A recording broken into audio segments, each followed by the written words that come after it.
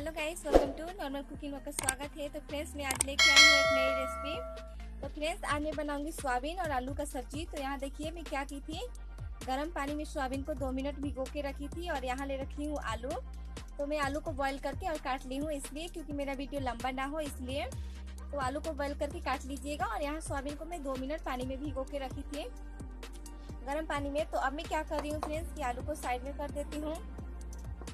और यहाँ मेरा सोयाबीन ये यहाँ पर एक प्याला ले रही हूँ और क्या कर रही हूँ, जो ये सोयाबीन है, इसको चीप के और अच्छे से निकाल लेती हूँ इसमें। तो फ्रेंड्स, मैं क्या कर रही हूँ, सारा सोयाबीन कैसे ही चीप के निकाल लेती हूँ। तो फ्रेंड्स, यहाँ देखिए, मैं सोयाबीन को चीप के निकाल ली हूँ। तो क्या करना है कि अब मैं इसमें कोई मसला पीस के नहीं डालूँगी, यानी पेस्ट नहीं बनाऊँगी। तो चलिए, इसको बनाने के लिए चलते हैं गैस की तरफ़।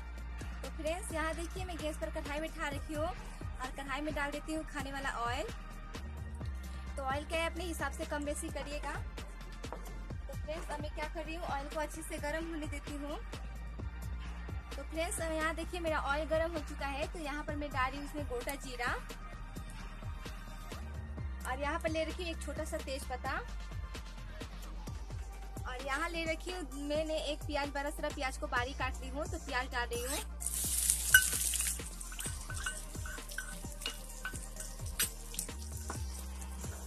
इसको छिला के थोड़ा सा ब्राउन कर लेती हूँ, अच्छे से।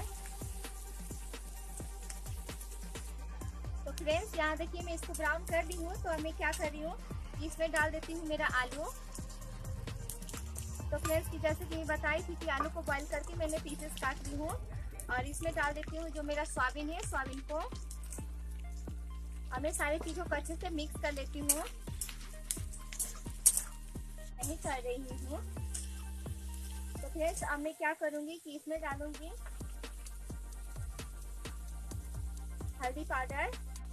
अब मैं यहाँ ले रखी हूँ एक चम्मच के हिसाब से धनिया पाउडर। यहाँ ले रखी हूँ एक चम्मच के हिसाब से लाल मिर्ची पाउडर। और फ्रेंड्स यहाँ देखिए ले रखी हूँ चिकन मसाला एक चम्मच के हिसाब से। और फ्रेंड्स यहाँ ले रखी हूँ थोड़ा सा गरम मसाला। डालूँगी स्वाद का अनुसार नमक। और मैं सारे चीज़ों को अच्छे से मिक्स कर लेती हूँ। गैस को हाई मीडियम रखिएगा तेज मत करिएगा हाई मीडियम पर रखिएगा। तो मैं इसको हाई मीडियम पर रख के इसको अच्छे से मसाला को थोड़ा देर इसमें सेक लेती हूँ, एक मिनट तक। बेसी नहीं सेकूँगी। तो इसके लिए इसको एक मिनट सेक रही हूँ, जो मेरा मसला है, अच्छे से इसमें पक जाए। यहाँ देखिए मेरा एक मिनट हो गया है तो मैं क्या कर रही हूँ, इसमें डाल देती हूँ पानी। यदि आपको ग्रेवी खाना है तो आप पानी डालिएगा, नहीं खाना है तो मत डालिएगा तो मुझे ग्रेवी बना चाहिए सब्ज़ी। तो इसमें डालती हूँ थोड़ा सा पानी।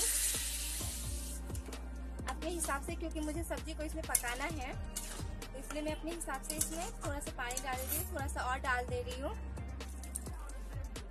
तो यहाँ देखिए, मैं इतना सारा पानी डालती हूँ तो मैं क्या करती हूँ अच्छे से इसको मिक्स कर देती हूँ।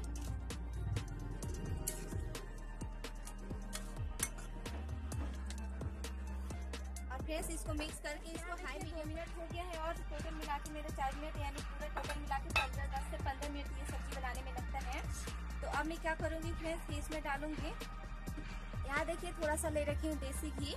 तो मैं थोड़ा सा इसमें डाल देती हूँ देसी घी। क्या देखिए। और फिर मैं अब क्या कर रही हूँ, इसको अच्छे से मिक्स कर लेती हूँ। और गैस को हाई कर देती हूँ और इसको मिक्स करके और एक मिनट पका लेती हूँ। फ्रेंड्स इसको मैं चला चला के एक मिनट पका लेती हूँ। फ्रेंड्स ये सब्ज़ी ऐसे बनाइएगा ये रेसिपी बहुत अच्छा लगता है। एक बार ज़रूर ट्राई करिए एक मिनट और पका ली हूँ तो अब क्या कर रही हूँ? मेरा सब्ज़ी बन के रेडी है तो मैं गैस को ऑफ़ कर देती हूँ और इसको प्याले में खाली कर लेती हूँ। तो ये लीजिए फ्रेंड्स मेरा सोयाबीन आलू का सब्ज़ी बन के रेडी है और बहुत सिंपल सा रेसिपी था।